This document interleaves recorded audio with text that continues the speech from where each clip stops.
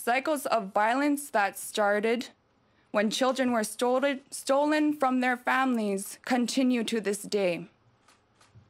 Not only do we need truth and justice, but we also need healing. And don't tell me that a phone number is enough.